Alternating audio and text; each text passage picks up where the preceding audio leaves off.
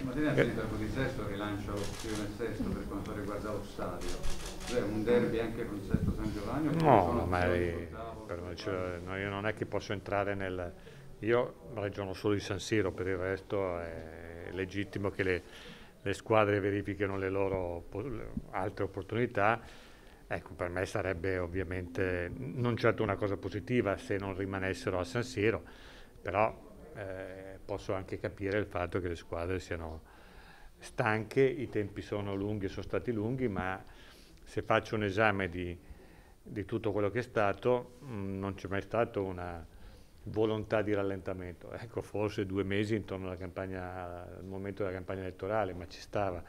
Da lì in poi nessuno ha mai voluto rallentare. Le procedure in Italia sono complesse, però sono queste. L'insistenza dei Verdi sul dibattito pubblico che in qualche modo come dire, in, eh, ingessa un po' tutto. No, però il, il dibattito pubblico, guardate, lo- lo bisogna, bisogna farlo. Eh, quello che io sostengo è che il dibattito pubblico non allunga i tempi rispetto a comunque i ricorsi che sono stati fatti e il referendum. Il dibattito pubblico automaticamente annullerebbe il referendum.